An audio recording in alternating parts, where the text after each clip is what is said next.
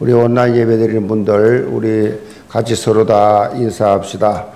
예배는 축제의 시간입니다. 여기서 말씀 가지고 하나님의 절기들이란 제목으로 말씀을 드립니다. 오늘 살펴볼 레위기 23장 말씀은 절기장이라 절기장 그렇게 부릅니다. 레위기 23장에는 이스라엘의 일곱 절기가 그렇게 구체적으로 나오는데 6월절, 무교절, 초실절, 칠칠절, 또 나팔절, 대속제일절, 또 초막절 그렇게 일곱 절기가 나옵니다. 그런데 독특한 것은 이 절기들을 이스라엘의 절기라고 표현하지 않고 하나님께서 나의 절기들 그랬습니다. 나의 절기들, 여호와의 절기들이라고 그렇게 말씀하고 있어요. 일반적으로 각 나라 민족마다 지키는 이 중요한 절기가 있습니다. 자신들의 역사 속에서 중요하고 의미 있는 사건들이 일어난 날을 기념하는 그러한 어, 절기지요. 우리나라로 말하면 독립운동을 기념하는 3.1절 운동, 또 해방을 기념하는 광복절, 이런 대표적인 절기들이 있습니다. 그런데 이스라엘 절기는 다른 나라와 아, 이렇게 개념이 다릅니다. 이스라엘 절기는 다른 나라 절기하고 개념이 달라요. 그 차이가 뭐냐? 이스라엘이 지키는 절기는 여호와 하나님께서 친히 제정하신 거예요. 다른 민족의 절기는 역사적인 사건을 그렇게 기념하는 그런 기념으로 제정하지만은 이스라엘 절기는 하나님이 특별한 목적을 두고 제정하신 날이에요. 또 한 가지는 다른 민족 절기는 사건이 먼저 일어나고 그 사건을 기념해서 지키는 어, 그런 어, 절기죠. 그런데 이스라엘 절기는 절기가 먼저 정해지고 그 다음에 사건이 일어난 거예요. 정반대예요.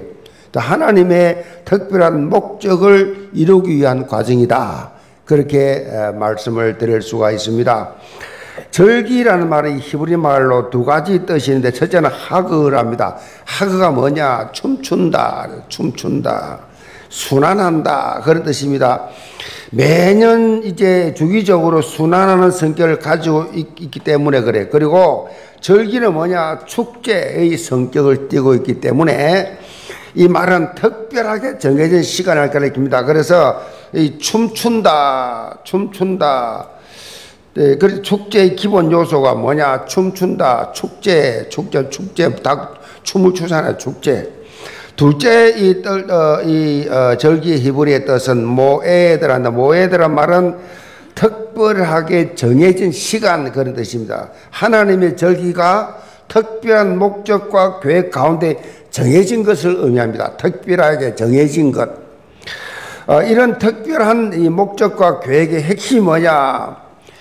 인류를 구속하기 위한 구원과 속죄를 위한 하나님의 섭리가 있다. 그래서 구약의 절기는 예수 그리스도를 예표하는 그림자와 같은 사건들이었어요. 모든 게 다 예수 그리스도를 오실 예수 그리스도를 설명하는 그림자. 골로새서 2장 16절로 17절에 보면 이 사실을 사도 바울이 강조합니다. 그러므로 먹고 마시는 것과 절기나 초하루나 안식일을 이유로 너희를 비판하지 못하게 하라. 이것들은 장래일의 그림자니 몸은 그리스도의 것이니라. 그리스도의 것이 모든 절기들이 그리스도를 나타내고 가르치기 위해서 과정적으로 필요했던 것이다. 무엇보다도 예수님의 공생의 타임 스케줄이 일곱 절기 속에 다 이루어졌어요. 일곱 절기를 전부 다 예수 그리스도의 지상 사역과 다 연계가 그렇게 되어 있습니다. 6월절이 뭐냐? 그리스도의 대속적 죽음입니다. 그리고 무교절은 예수 그리스도의 교제입니다. 그리스도와의 교제. 초실절은 부활. 칠칠절은 성령과의 임무교대. 예수님 가시고 성령 오셨잖아요. 임무교대. 나팔절은 그리스도의 강림. 속죄일은 그리스도의 속죄. 마지막 초막절은 그리스도의 심판. 이렇게 일곱 모든 이 절기들이 다 예수 그리스도의 타임 스케줄에 쫙 들어 있습니다. 근데 지금까지 다 일곱 스케줄을 보면 절기가 다 완벽하게 다 성취가 되었는데 이제 하나만 남았어요. 그리스도의 심판. 그리스도의 심판. 이거 하나만 남았어요. 초막절. 그래서 예수 그리스도 우리 영계 모든 성도들 본문을 통해서 장차 도래할 그리스도의 재림. 주님이 초림하셨으면 재림하십니다. 시작하신 분은 끝을 냅니다. 알파 오메가요 시작과 끝이라 끝을 내는데 개인적인 이제 종말 있죠. 개인적으로 육체를 떠나면 다 개인적으로 이제 그리스도 앞에 가게 되는데 인류의 종말이 있다 그 말이에요. 그래서 우리는 어떤 삶을 살아야 되느냐? 개인 종말을 위해서 그렇고 인류 종말을 위해서 우리는 늘 영적으로 깨어 있어야 된다. 깨어 있어야 된다. 깨어 있기를 주님으로 축복합니다. 그럼 첫째로 절기 핵심입니다. 1절로 3절을 다시 읽어드립니다. 여호와께서 모세에게 말씀하여 이르시되 이스라엘 자손에게 말하여 이르라. 이것이 나의 절기들이니 너희가 성회로 공포할 여호와의 절기들이니라. 여세 동안은 일할 것이요 일곱째 날은 쉴 안식일이니 성회의 날이라. 너희는 아무 일도 하지 말라. 이는 너희가 거주하는 각처에서 지킬 여호와의 안식일이니라 오늘 본문에 보면 하나님께서 이스라엘 백성들이 지켜야 될 절기에 대해서 말씀을 하셨어요. 그런데 독특한 것은 나의 절기들, 나의 절기들. 그래 말씀하시면서 가장 첫 번째 나오는 절기를 먼저 말씀하지 아니하시고 재밌게도 안식일에 대해서 그렇게 언급을 하셨어요. 여세 동안은 일할 것이요. 일곱째 날은 쉴 안식일이니 성회의 날이라. 성회다. 성회라가 무슨 말이냐? 히브리 말로 미크라 코데시란다. 미크라 코데시는 절기 가운데서 예배 드리기 위해서 함께 모이는 특별한 날. 하나님 앞에 예배 드리기 위해서 함께 모이는 특별한 날을 정했어요. 우리가 주일날, 수요일날, 금요일날 날을 정했잖아요. 하나님 앞에 예배하기 위해서 특별한 날. 그게 성회요. 실제로 절기가 진행되는 동안에 첫날과 마지막 날이 중요했습니다. 자, 이 날이 성회로 불렀다. 하나님께서 다른 절기를 말씀하시 앞서서 이 3절 이후로는 쫙 절기에 대해서 말하기 6절부터 쫙 말씀하시는데 이 절기 말씀하기 전에 제일 먼저 하나님 앞에 안식, 안식일에 중요성을 강조하는 이유가 뭐냐? 바로 안식일이 모든 절기의 뿌리자 바탕이다. 그것이 뿌리, 하나님 앞에 예배하는 것이 우선되어야 된다. 그래서 여러분이 살아가면서 가장 중요한 것은 뭐냐? 오늘처럼 이렇게 정신없이 세상 일 하다가 오늘 금요일이지, 금요 기도에 가야지, 금요 기도에 참여해야지, 그게 뭐요? 우선순위잖아요. 그 여러분들은 이제 선택된 분이라 구별된 분이라 여러분은 하나님의 자녀라 세상 일을 하는 일을 딱 멈추고 딱 나와서 예배하잖아요. 이게 뭐냐? 특별히 구별된 이 신분이란 증거예요, 증거. 그래서 말씀을 듣고 싶어 하는 말씀 듣는 이것이 예배가 가장 우선순위가 돼야 된다. 주일날 나왔다가 말았다가 심야기도 나왔다가 말았다가 기분 나면 하고 안 하면 안 하고 이런 신앙생활을 하게 되면 하나님 기뻐하지 않으신다고. 그러니까 하나님 기뻐하신 그 첫째가 뭐냐? 첫째 절기 많지만 그보다 더 중요한 것은 예배를 우선시해라. 예배 최우선순위. 그래서 예배 시간은 제가 이렇게 살아오면서 하나님 앞에 이렇게 쓰임 받게 되는 것은 다른 거 아무것도 없어요. 예배 시간, 예배 하나님 앞에 예배 시간, 수요일, 금요일, 주일 저는 빠진 적이 없어요. 아무리 바빠도 수요, 수요 예배, 딱 수요 예배, 금요 예배, 주일 예배, 그거는 뭐, 뭐 생명같이 지켰어요. 그 기본적으로. 그렇게 하나님 앞에, 어, 그것이 깨어 있는 방법이에요. 세상에 보면 휩쓸려 살다 보면 한달 동안 교회 안 나왔다. 불신자 거의 같아요. 여러분 경험 있는 분들 많을 거예요. 한 달 동안 이런저런 이유로 교회를 못 나왔다. 내용, 사는 내용이 불신자하고 같다니까요. 예비가 없어요, 분들. 막 세상 걱정 염려, 세상 그냥 피튀기 그냥 하는 불신자고 거의 누가 봐도. 그러니까 이 하나님이 막 주일 예배 드려 가서 조금 세상적으로 흡수시키려면 수예배 있어. 조금 더 흔들면 금요일 또 있어. 하룻밤 지나면 주일날 있어. 이렇게 해서 여러분을 영적으로 깨게 만드는 것이 축복이 좀 있어 바랍니다. 그 아셔야 돼요. 그 여러분을 사랑하기 때문에. 이 구약에서 절기를 지키는 여러 규례가 있는데 가장 중요한 것이 뭐냐? 제사. 구약에는 제사가 예배예요. 신약에 제사와 안식이었어요. 제사의 본질이 어디 있느냐? 핵심은 하나님과의 바른 관계 회복이. 예배가 뭐예요? 하나님과 나와의 관계 회복이에요. 하나님과 나와의 관계 회복. 우리가 예배를 드리는 것은요, 하나님과 관계를 바로 내가 지금 되어 있는지 점검하는 거 점검. 하나님과 나와의 관계. 그러니까 찬양을 내 영혼이 기쁘게 찬양을 하고 찬양을 찬양 시간에 허비하는 것이 아니고 기도하는 시간이 하나님 앞에 실감나게 하나님과 대화하는 그 시간 되는데 기도하는 시간이 허비하는 시간이 아니고 내 영적 상태가 찬양을 부를 때에 내 영혼이 기뻐 찬양하는 그 찬양 속에서 어? 기도할 때 기도 속에서 말씀 예배 드릴 때 말씀 속에 있느냐 점검이 필요해. 예배 드려 나와 가지고 일하다가 온 세상 생각, 내가 문을 잠그고 왔나 안 잠그고 왔나. 내가 차를 문을 잠갔냐 안 잠갔냐. 매 불신 이 사단이 뿌려놓은 가라지에 속아버려. 그래서 이 집, 뭐, 예, 하나님의 예배에 집중하지 못하게 만든단 말이야. 그래서 인생 실패하게 만든. 예배 실패는 인생 실패예요. 하나님과의 바른 관계, 이것은 우리 의나 노력으로 되는 게 아니에요. 하나님과 바른 관계는요, 바른 관계는 예수 그리스도밖에 없어요. 예수 그리스도를 통해서만 가능해요. 그래서 여러분이 말씀을 들을 때마다 그리스도, 그리스도, 그리스도, 예수, 그리스도 안에 있는 이것을 늘 확인해야 돼. 그래서 모든 구약의 제사가 뭐요? 예수 그리스도 예표예요.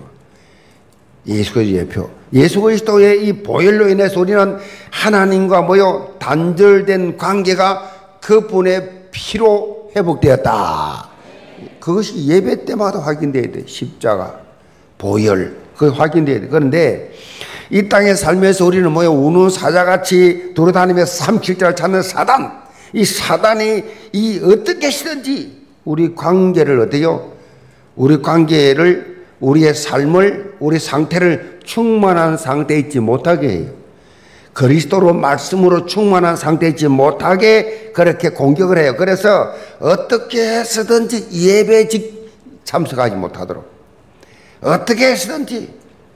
근데 예배 참석을 했다. 그럼 집중하지 못하도록.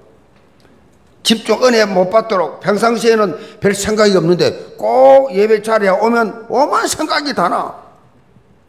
예배 자리만 오면 막막 생각이 나. 그게 뭐요? 당하고 있는 거예요. 사단에게 당하고 있는 거예요. 흑암에게 지금 당하고 있는 거예요. 우리 교회는 뭐 조는 분이 없습니다만은 조는 것도 마찬가지. 하루 24, 24시간이잖아요.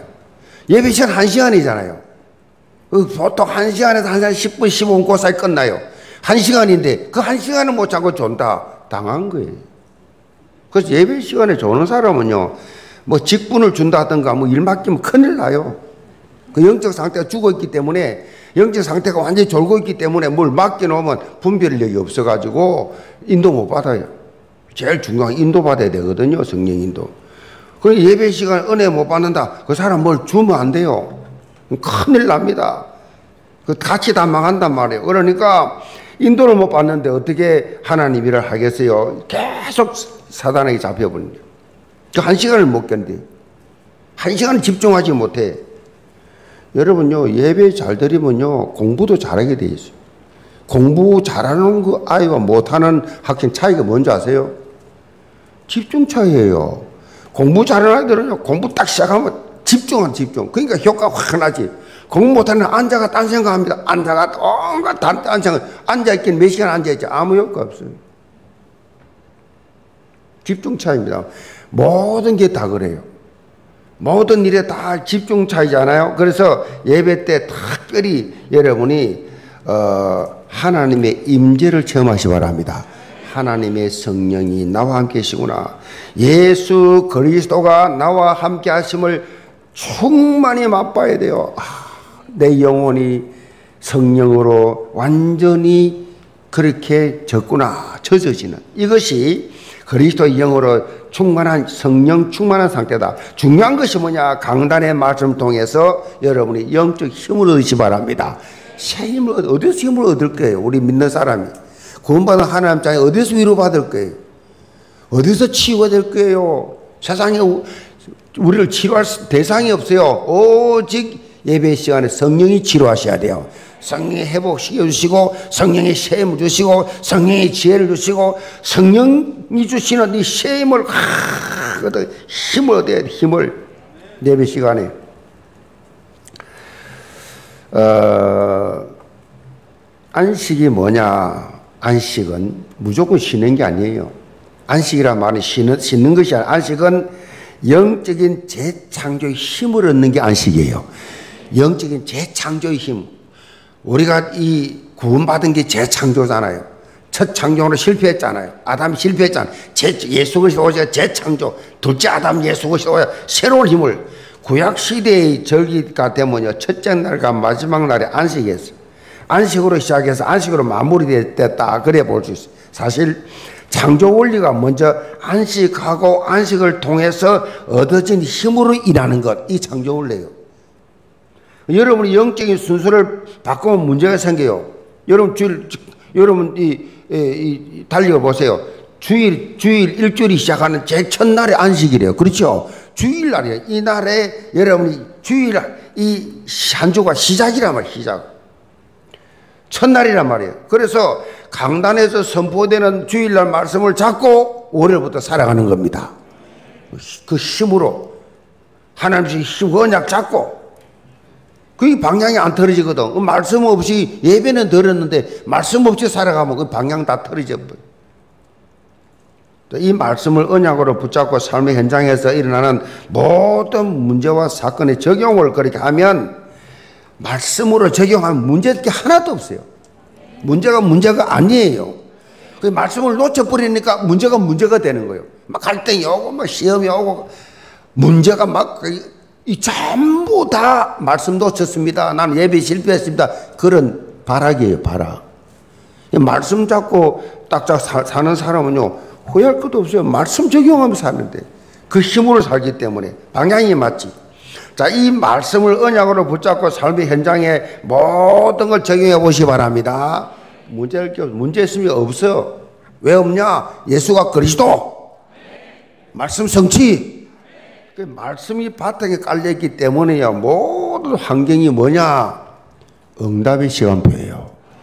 여러분이 뭐 자식이 어떻고 뭐 골치 아프고 뭐 지금 뭐 어, 사업이 잘 안 되고 뭐 직장이 어렵다고 이 그, 그거는 창세기 3장에 누구에게나 있는 거예요. 문제 없는 집이 없어요. 다 문제 있어요. 기도 제목 다 있어요. 기도하라고. 어느 교회든지 다 제 기도 제목이 다 기도하라고. 영적으로 기도하라고. 그래서 하나님이 필요하자 하나님이 도와주시고 하나님 응답하신 걸 체험하라고. 그 여러분 제일 중요한 것이 뭐냐? 말씀을 놓치지 마시 바랍니다. 말씀을 놓치면 안 돼. 예수님께서도 마태음 13장에 네 가지 땅이 떨어진 12유를 말씀하면서 강조했잖아요. 어?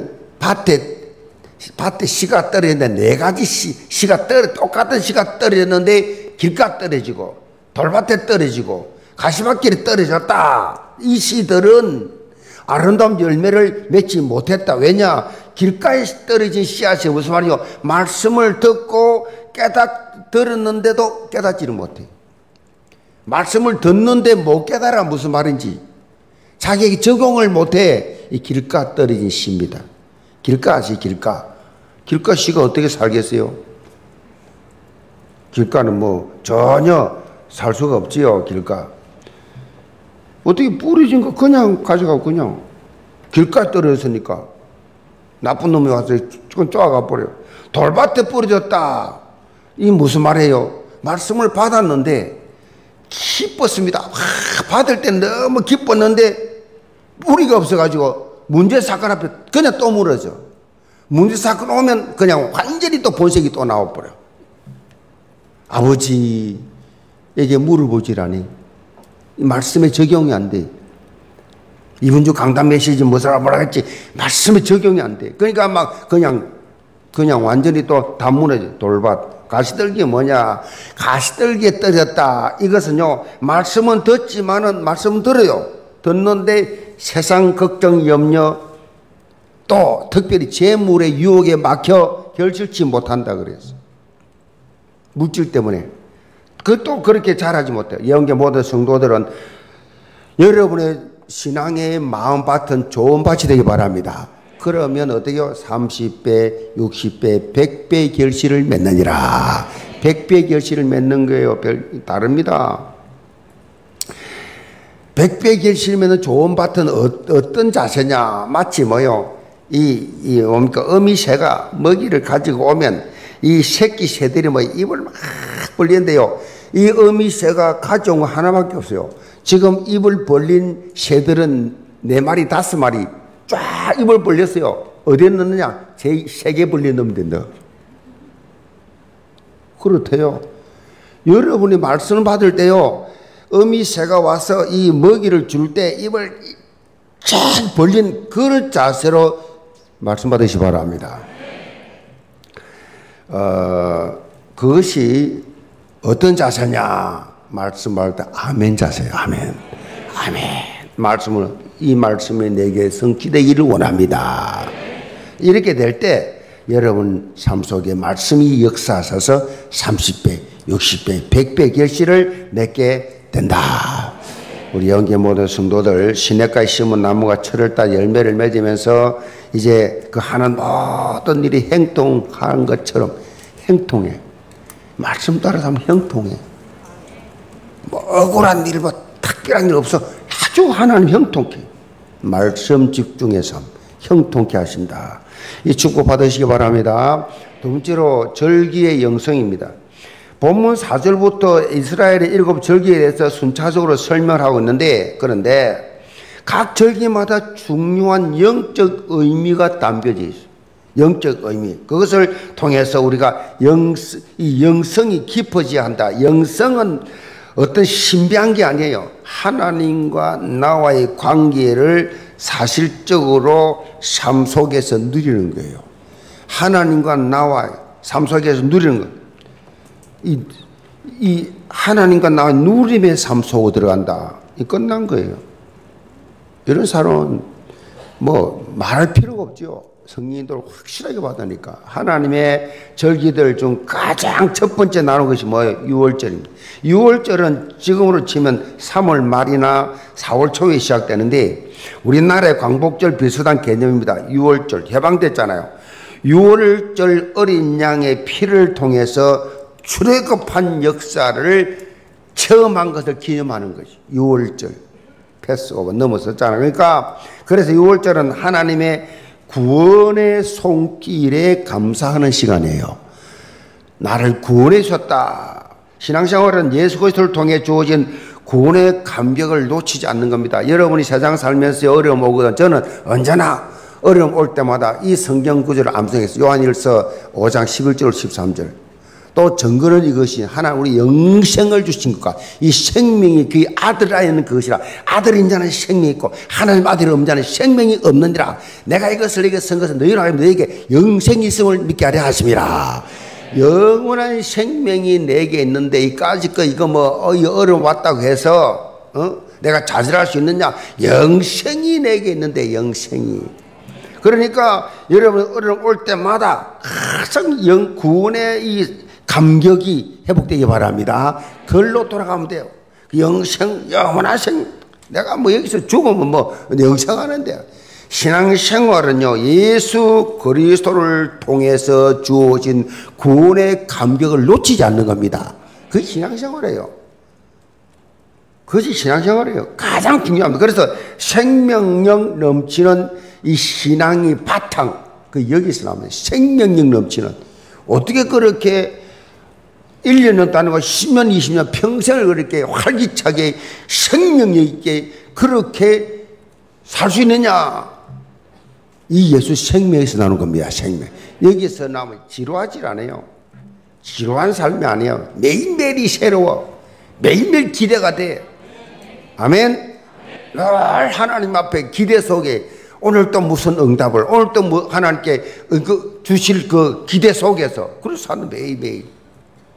거의 뭐, 얼, 뭐 세월 세상 가는 줄 몰라. 너무너무 하루하루가 기대 속에. 뭐 1년이 금방금방 가, 그냥. 음. 그 저는 막 개척한 지가 30몇 년, 뭐 어제 아래 같아, 그냥. 그때 내가 나이가 멈춰가 지금까지야, 그냥. 6월절에 이어지는 절기가 뭐냐? 무교절입니다. 6월절이 시작되는 바로 다음 날부터 무교절이. 그래서 6월절과 무교절 함께 가는 절기예요, 사실. 무교절은 그 이름 뜻대로 누룩을 넣지 않는 떡. 그 떡, 무교병을 이 선 나물하고 양고기하고 함께 먹는 절기입니다. 썬 나물하고 썬 나물하고 이 양고기하고 누룩이 없는 것, 썬 나물, 이스라엘 백성들이 광야에서 고생했던 그, 그 경험하는, 그 경험하는 고통을 상징하는 겁니다. 이 무교절이. 그리고 이런 고통은 죄로 인한 것이었어요. 전통적으로 누룩은 죄나 부중함의 상징이었어요. 죄로부터 자유롭고 구별된 삶을 사는 것이 중요하기 때문에 그래요. 무교절이 이어지는 절기가 뭐냐? 소실절입니다. 소실절은 첫 열매를 바치는 절기라 해서 초실절 그래야하는데 이스라엘 땅에서 밀보다 보리가 먼저 나오는데 보리 수술해서 그 첫 열매를 바친 절기다. 그래서 맥추절이라고도 합니다. 초실절은 부활의 첫 열매 대신 예수 그리스도를 강조하는 절기예요. 죽음을 이기시고 잠자는 자들 첫 열매가 되신 예수 그리스도를 통해서 우리가 뭘 얻었습니까? 부활 생명 얻었어요. 부활 생명.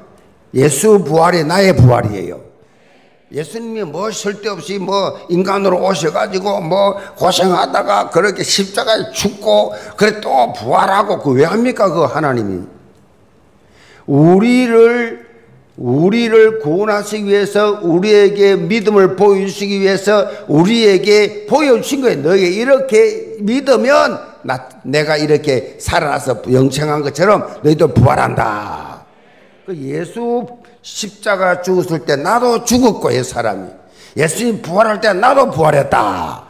영생하는 감격. 이 감격이 여러분 속에 늘 있어라. 그래 초실절. 이걸 강조하는 거예요. 부활 생명을 누리는 삶을 살아라.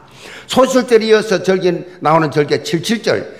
칠실절은 초실절에서 7주가 지난 날에 77절, 또 50일이 지난 날에 오순절. 77절은 아주 중요한 영적 의미가 담긴 그것이 뭐냐?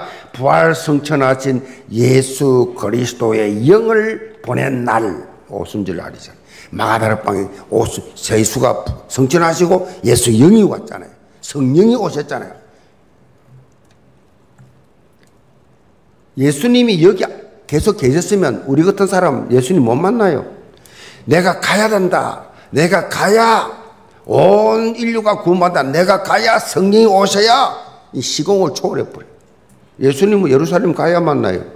나사렛 가야 만나요. 뭐 짜랑이라도 만나야 뭐 무슨 저뭐 혈증이 났든지 뭐 그래야 돼. 어떻게 만나요? 예수님 성령으로 오셔서 시공을 초월해서 믿는 자 속에 들어가서 역사하신다. 그래서 이, 이 77절, 그야말로 이 오순절, 이렇게 해서 성령이 임했습니다. 성령 어떤 영입니까? 성령은 추수의 영이에요. 추수의 영. 그러니까 전도와 성교의 영이에요. 성령이 아니고 전도, 성교 못해요.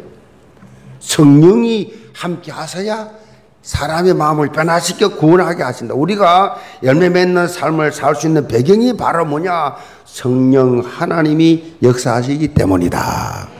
성령 하나님이 아니고 어떻게 심야기도 나고 예배드리겠다는 마음이 생기겠어요. 성령의 사람 아니고 불가능합니다. 한 번도 분도 아니고 평생을 77절에 이어서 절기가 나팔절과 대, 이 속죄일이 있습니다. 나팔절은 새해 절기를 나타냅니다.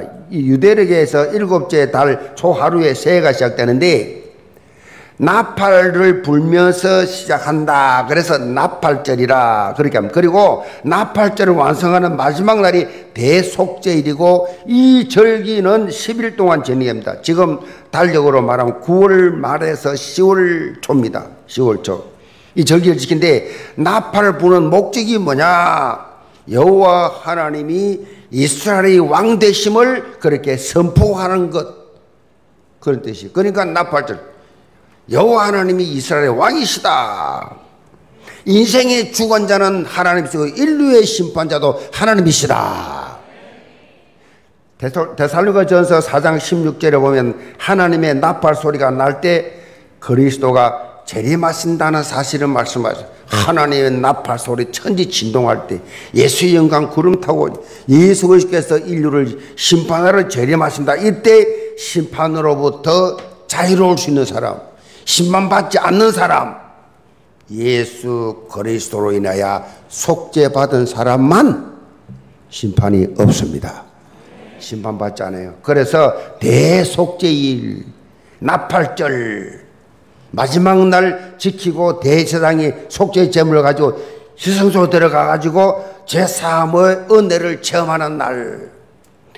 마지막 초막절은 최대의 기쁨과 감사를 표현하는 절이 수장절, 장막절이라고 합니다.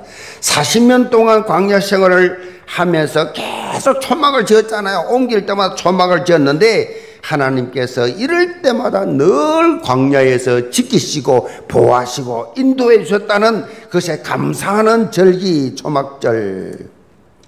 또 한편으로는 한해 모든 농사를 마치고 그 수확을 다 저장한 했다. 그래서 하나님께 추수 감사절을 던데 결과적으로 이 절기를 통해서 우리는 하나님이 우리 인생에 주관자 되심과 동시에 예수 그리스도를 통해 주어진 구원의 놀라운 은혜와 완벽한 보장된 우리의 삶에 대한 감사가 넘치는 삶을 하나님께 드려라. 하나님께 감사하시 바랍니다. 감사 모두 기적을 체험합니다. 감사.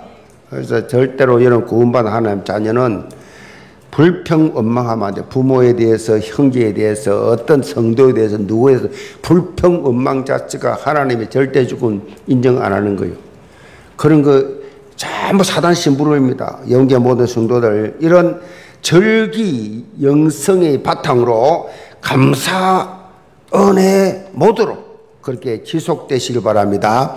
여기에서 더 나아가서 생명원의 풍성한 그런 열매를 맺는 삶 속으로 들어가시기를 점으로 축복합니다. 결론입니다. 아, 미국 하버드 대학교 유명한 신학자 하비 콕스라는 사람이 하비 콕스 교수가 이런 말했어. 인간을 들어서 호모 페스티부스. 호모 페스티부스 무슨 말인가 하면 축제하는 인간 그래요. 축제하는 인간.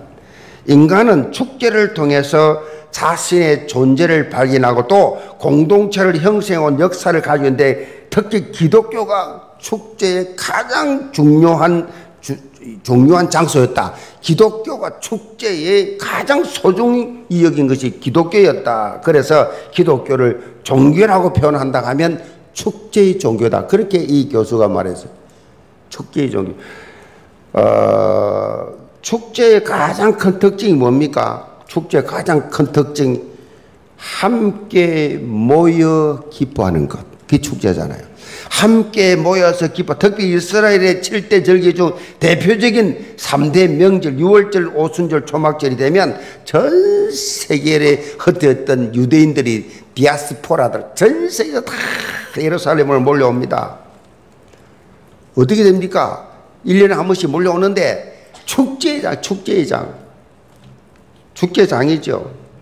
자, 우리 예배가 이렇게 돼. 세상에 나가서 다 동서사백 어떠서 그렇게 세상에 살지만은 예배 시간이 되면 쫙 몰려와서 모두가 다 하나님의 전에 모여가지고 영적 축제장이 돼야 됩니다. 축제, 축제, 축제 돼야 돼요. 응? 뭐 모여서 함께 교제하고 하나님께 예배하고 또 포럼하고 축제자, 축제자. 여기에 어떤 부정적으로 들어가면 다 가짜예요. 이유 불문입니다. 하나님과 하나님의 성경, 하나님 지은 교회. 여러분 교회 들어올 때마다 완전히 릴렉스 되시 바랍니다. 완전히 여기서 완전히 축제자, 영적 축제자. 따라서 교회는 영적인 축제장이다. 축제장이 돼야 돼. 그래서 주일학교다, 뭐 전도회다, 무슨 정연회다, 모든 기관들 무슨 모일 때마다 뭐가 돼야 돼요? 다른 거 하지 마세요. 축제 하시면 축제. 뭐죠? 계속 잔치 분위기. 축제 분위기, 잔치 분위기. 우리 저는 이 개척하면서요. 한 오랫동안 그랬어요. 예배 때마다 끝나고 나면 다 손잡고 저배 끝으로 다 손잡고 찬양, 찬양 함께 찬양하고 함께 막 찬송하고 손잡고 통성 기도하고 막 전부 손 쫙 잡고. 수요 예배 끝나면 전부 끝나고 전부 손잡고. 축제 축제. 계속 먹고 교제하고. 심지어 막 심야기도 맞추고 나면 막 같이 막 기, 같이 막 죽 먹고 막 계속 먹고 먹고 먹고 같이 교제하고 축제 분위기 그렇게 그렇게 했어요. 이 교회가 시작부터 하나님 앞에 여러분 나올 때 축제의 축제의 장으로 간다. 그리고 나오시 바랍니다. 속죄의 장으로 다 나간다. 일반 교회 부흥 안 되는 교회들, 율법 충만한 교회들 싸우러 가요. 싸우러. 죽일 거야. 그러면서. 예배 시간에 막 같이 적어가 막 싸울 거 적어요. 그래서 싸우고 그 개판 난장판 사단 난장판 이 한국 교회예요. 여러분은 축제장이 되시 바랍니다. 이유가 없어. 여러분이 뭘 했다고 인상 쓸 거예요. 무슨 자격이 있다고 신복에 힘을 줄 거예요. 뭘 했다고?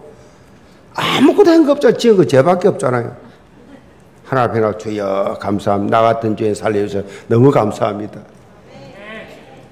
형도를 사랑하고 형제를 사랑하고 사람을 사랑하고 아멘.